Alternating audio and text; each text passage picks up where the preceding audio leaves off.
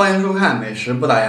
大家好，我是洋洋，今天给大家分享一道家常豆腐。首先把豆腐切成均匀的薄片，放入碗中备用。然后再准备一点葱姜蒜，放入碗中备用。再准备一点青红尖椒切片，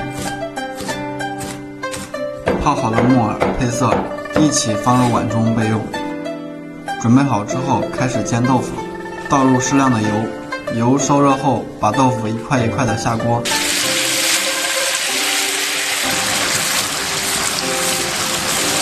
煎豆腐的时候要用小火，大火容易煎糊。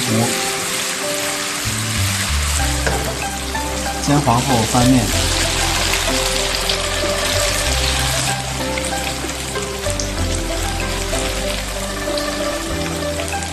两面都煎黄后关火，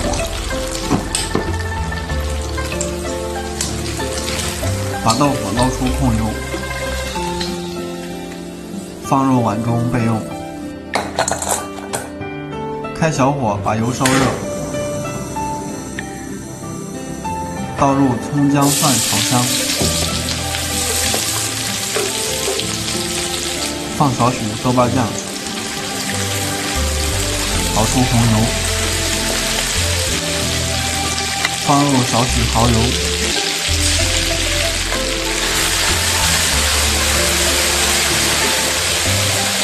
加一小碗水。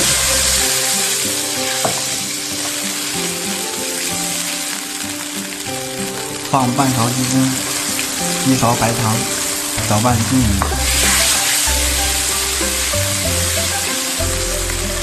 倒入煎好的豆腐，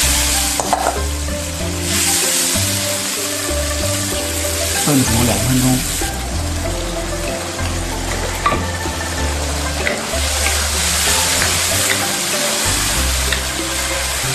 最后倒入尖椒木耳。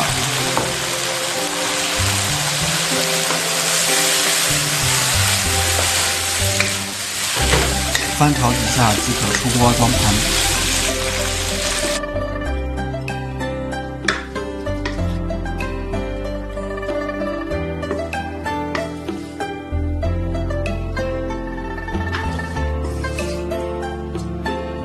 一道做法简单的家常豆腐制作完成。欢迎点评、点赞、转发、收藏，感谢大家的观看，再见。